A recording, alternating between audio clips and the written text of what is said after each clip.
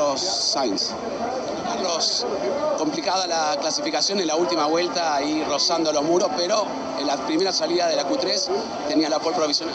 Sí, una pena que no cuente, ¿no? Pero bueno, es lo que tiene, estoy tomando riesgos, eh, sobre todo hoy me sentí un poco más cómodo con el coche y he podido tomar ese poquito más de riesgo para, para, para ir a por la pole, me he sentido cerca.